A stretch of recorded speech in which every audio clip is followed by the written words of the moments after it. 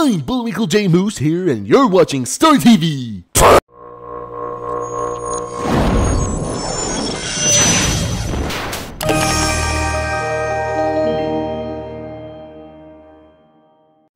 My name's Frank Alexandris, and I've been chosen as the head of the MSA, Multicultural Students Association. I'm a Greek Canadian, and I'm here to say it is this wave of immigration and cultures that have made this country what it is. We will be having some fun today because I'm going to be selling Gasser cards. Every Gasser card sold will help us buy supplies. What is that? They're funny parody stickers and they'll blow your mind. Here's this. Is this because some of the people can't eat pork? Exactly. And we're selling those for the I ain't exactly sure if this is legal or not. It's fine with us, they're just parodies. We've got a few cultural contenders for this day's Cock of the Walk festival. Whoever can be as much of a pushover as possible gets $100,000, and whoever doesn't needs to go touch grass. Let's go! Ahmad Nasser, where are you from? That ain't your business, Hercules! What on earth was that for? I don't like to toot my own horn, that's why.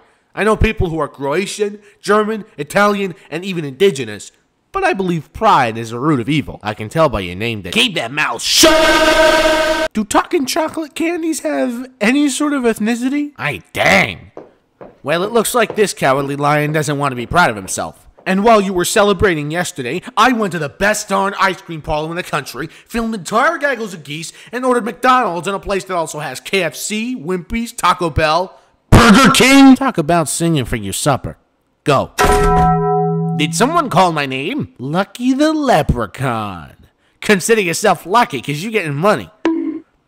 What? I can already tell you're Irish. Would you like to buy this Gasser card? What is this? It's a parody of your cereal. Just because they're made from pork doesn't mean you get to make fun of it. Some of our students can't eat pork, that's why. Can't stop me! Dude stole my $20! That's what happens when you trust Irish people. Your siblings are in this bag of M&Ms. Do not let that tribe come out your head.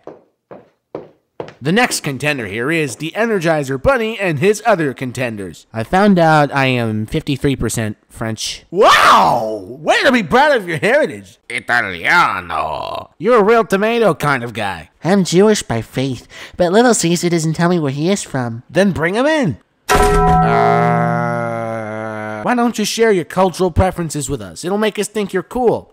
Buoni pastori se stondere pecus non de grubere per What on earth is he saying? pizza pizza